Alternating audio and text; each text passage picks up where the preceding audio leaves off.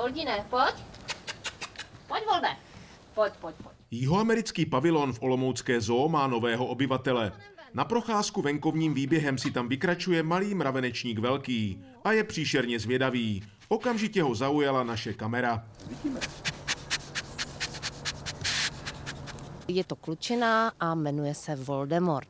Jsme nevěděli, eh, jestli teda eh, to mládě bude nebo nebude, tak mělo takový tajemný vlastně jméno dostalo. Volt, jak na něj ošetřovatelka volá, se narodil už v březnu.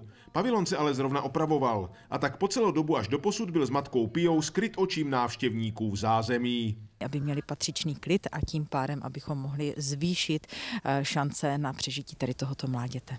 Mravenečníci velcí žijí v zoo na svatém kopečku od roku 2011. Voldemort je v pořadí osmým odchovaným mládětem. Patří do skupiny chudozubých z oblasti Pamp Jižní Ameriky.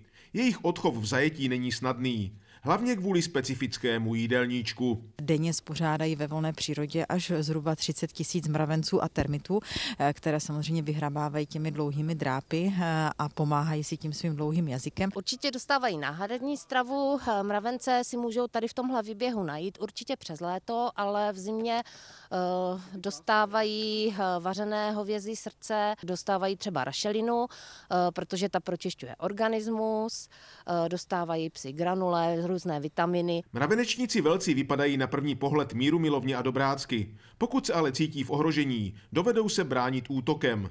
Postaví se na zadní a ostrými drápy prý dokážou zabít i jaguára. Z minulosti jsou známé i případy ze zoologických zahrad v Německu a Americe, kde mravenečník smrtelně zranil ošetřovatele.